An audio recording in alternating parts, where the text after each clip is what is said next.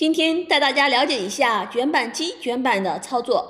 卷板卷圆加工是通过卷板机对金属板材进行连续弯曲加工成型的过程。根据卷制工艺不同，可将金属卷板卷成圆形、弧形和一定范围内的锥形工件。钢板卷筒广泛使用于造船、水泥、锅炉、航空、水电、化工、金属结构及机械制造行业。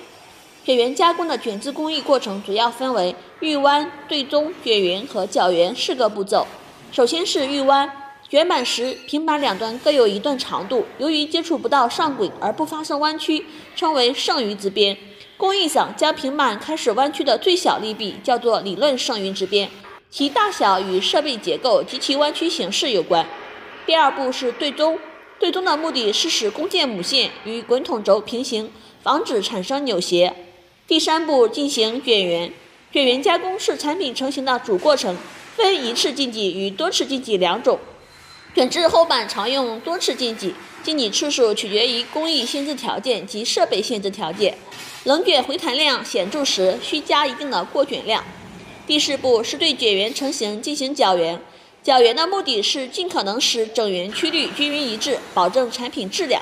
以上是卷板加工卷制工艺过程中操作的知识点。您了解了吗？金属板材加工无小事，细节定成败。三维重工，规范操作，严控产品品质，强化质检，保证加工的每一件钢构件都是优质产品。我是三维吴雪，关注我，每天分享钢结构小知识。